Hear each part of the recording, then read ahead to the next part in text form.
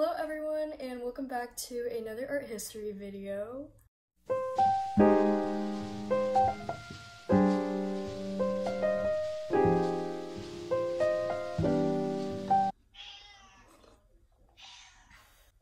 So I don't know if you guys are big art history fans yourself. I'm sure you are if you're watching my videos or if you just like listening to me.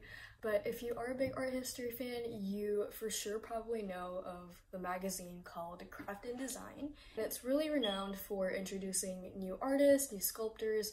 It's mostly architecture and sculpture focused rather than fine art or 2D, but so my mom was actually an art professor, so we would get the mailing listing for these when I was younger. And I just remember there was this one issue. I can't remember exactly what year it was. I'm gonna find it but it was this one issue and the design cover was so incredible. I have it ripped out and taped on my wall back at home, my room at home, but basically this woman on this craft and design cover, I didn't know who she was, but after reading the article, I became very fascinated with her. And her name is Ruth Asawa.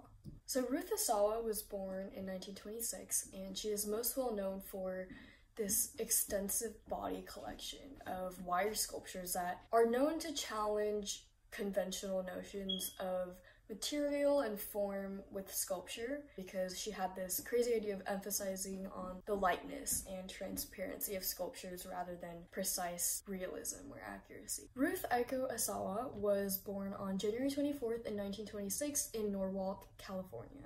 Her parents were immigrants from Japan, and she was actually the fourth of seven children. And a majority of her time when she was younger was spent picking seasonal crops. They were, her parents were truck farmers because, unfortunately, at the time, due to discriminatory laws against the Japanese, from World War II, her parents were not allowed to become American citizens or own land themselves. She actually unfortunately had to spend a part of her time in a Japanese internment camp as well, in Rohwer, Arkansas, where she was separated from her father for about 12 to 13 years. And I would say this portion of her life, as would anyone, had a huge impact on her, especially how she views her art forms and community building, and how we will see later on how she dedicates herself to the good of the public art world.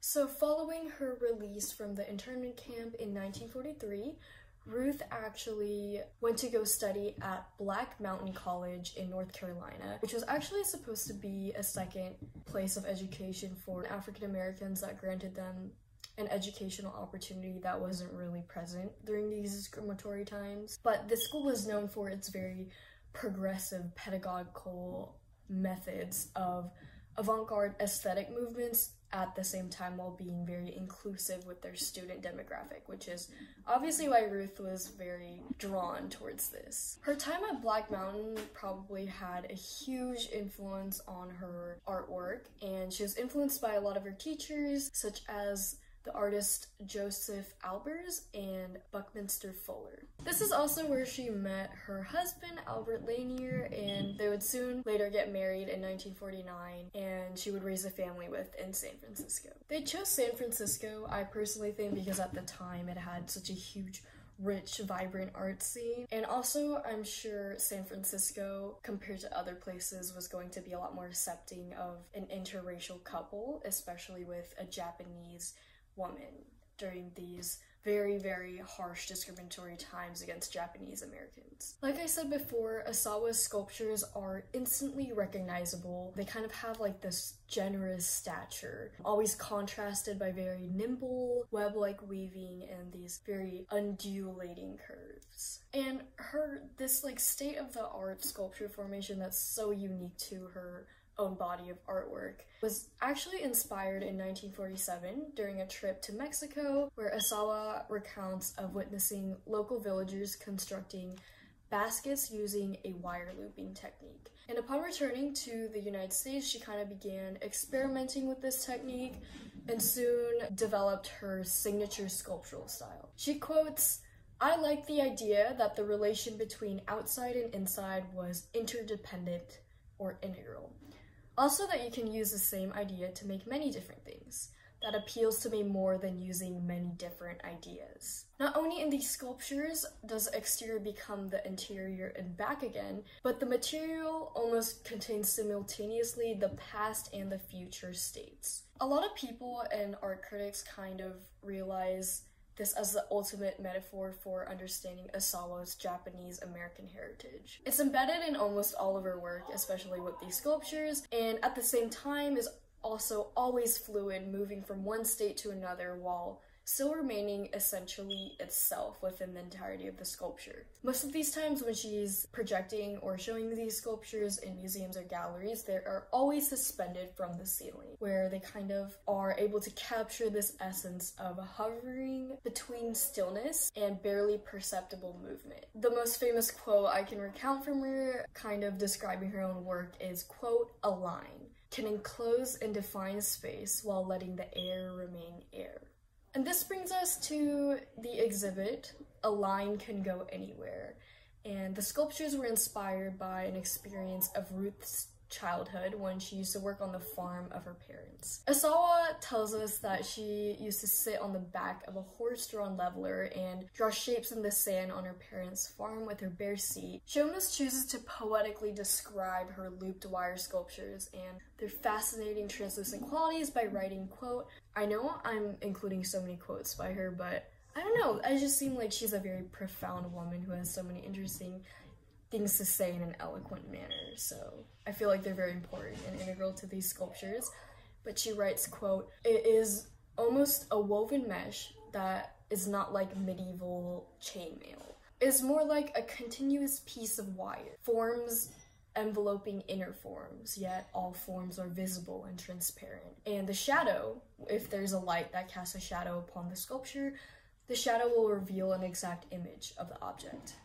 Another huge famous piece done by her, I actually see this one all the time because um, I do go to school in Berkeley, so every time I go to SF, usually by the BART station, there is this piece, but she was dedicated to actually build the San Francisco Fountain to the city on Valentine's Day in 1973. The fountain is situated right outside Hyatt Hotel in Union Square, and if you look very closely, the work contains many intricate and very surprising details. Another really important detail or part of a detail that is super integral to Asawa's career and her legacy is showing the Alvarado Elementary School. This is actually a place where Ruth established an arts program and actually helped or encouraged her students to help contribute to the work on some of the small pieces of the fountain. The material that Ruth Asawa used for the base, the mold of the fountain, is actually the same clay that she made for many children due to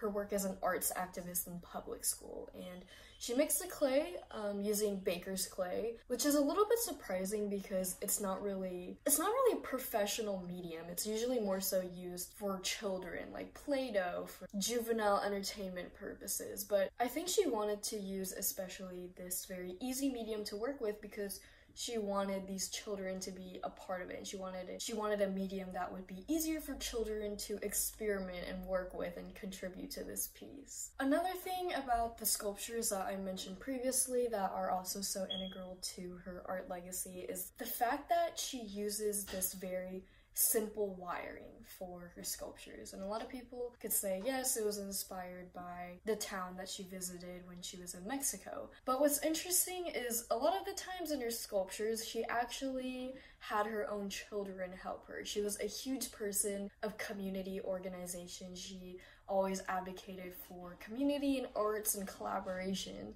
So she always wanted to use a medium like a simple wire where children could experiment with it and get their hands on it and be introduced to this vast world of art and creative expression.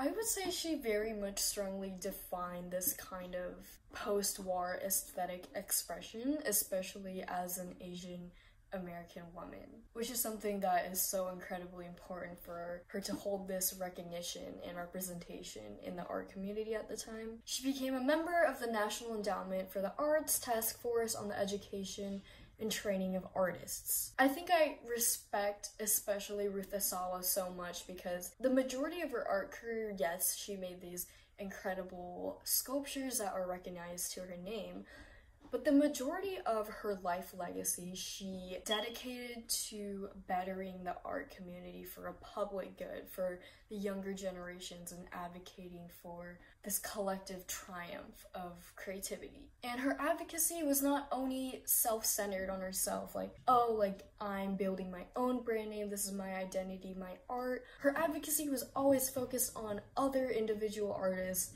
in small arts organizations or nonprofits where small amounts of money could do great deals of good for the community. In 1982, she actually focused her energy on building a public high school for the arts in San Francisco, and she located it in the heart of Civic Center so that it was very close to, at the time, the city's world class cultural organizations such as opera, ballet, and jazz. The school was actually renamed for her, and it is actually now called the Ruth Asawa San Francisco School of the Arts. To finish off this beautiful, incredible, important woman's legacy, she tells us in an interview, quote, I was interested in the economy of a line, making something in space, and closing it without blocking it out. It's still transparent, I realized that if I was going to make these forms, which interlock and interweave, it can only be done with a line because a line can go anywhere.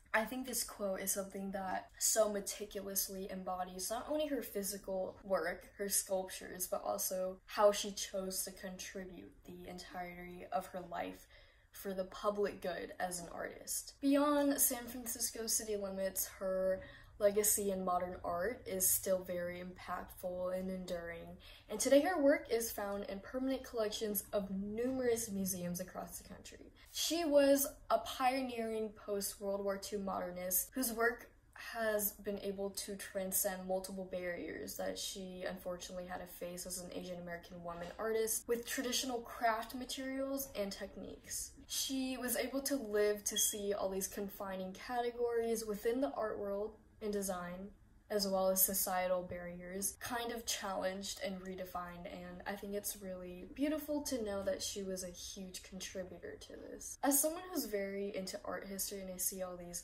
former artists, especially Asian American artists and writers like Theresa Hak Kyung Chan, Ruth Asawa, living in the Bay Area, cultivating this art world, I don't really see that anymore, especially with this overtake of tech and work culture. And I don't know, it's a little bit disheartening to say at the least. A lot of institutional failures going on in San Francisco. I don't know, it's just, I guess, side note, it's like really interesting to see firsthand how the culture of the Bay Area is evolving. And I really hope you took something from this video, learned something new about a new artist because that's always my goal with this channel. Thank you everyone for watching and please watch for my next video because it will be coming up soon because I'm gonna be on break soon. Just I have to get through finals. But thank you for watching. Bye.